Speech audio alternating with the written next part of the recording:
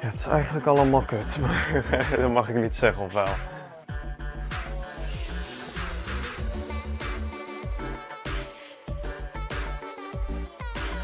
Eh, in je eerste semester ga je verbreden in alle vijfde profielen.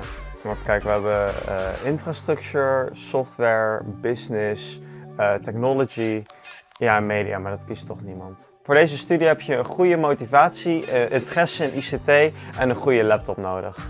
Ja, dus interesse in ICT betekent niet gelijk, oh ik game dus hahaha IT. want die fout had ik gemaakt en nu zit ik hier nog steeds.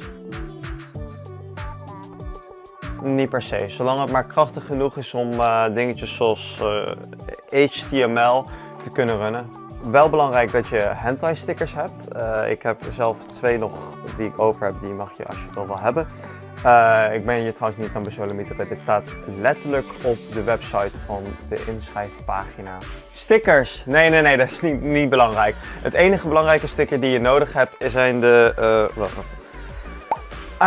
ijslapje stickers die je nodig hebt. Uh, deze kun je serieus krijgen als je het leuk aan mij vraagt. Oh ja, nee, dat moet je niet aan mij vragen. Ik heb media gekozen. Ja, ligt eraan wat je kiest. Uh, sowieso werk. Alleen de ene wordt super rijk en de andere kiest game design.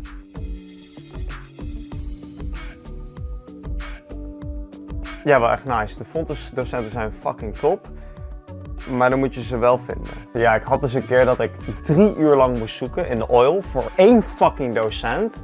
En toen uh, had ik hem eindelijk gevonden. En toen kreeg ik, nou, zoals gewoonlijk, negatieve feedback. Nou, ik dus zijn feedback uh, toepassen in mijn project, zodat het goed is, zogenaamd. En dan vervolgens komt een andere docent en die zegt van, ja, nee, dit vind ik fucking kut. Maar wat je daarnet had, vond ik wel best wel fucking cool. What the fuck?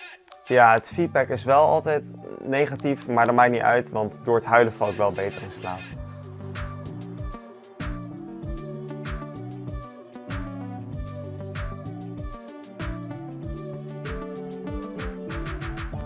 Ik hoop dat jullie propaganda goed genoeg werkt voor dit.